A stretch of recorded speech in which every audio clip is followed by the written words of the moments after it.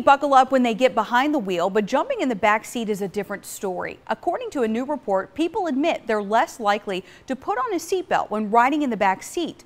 The Insurance Institute of Highway Safety says in taxis or ride shares like Uber and Lyft, only 57% buckle up.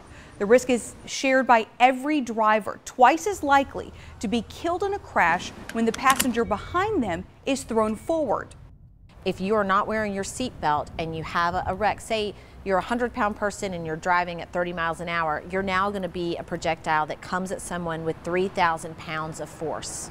So you can kill everybody in that car. 21 states don't require backseat passengers to buckle up, including Virginia. Advocates say if more did, less lives would be lost.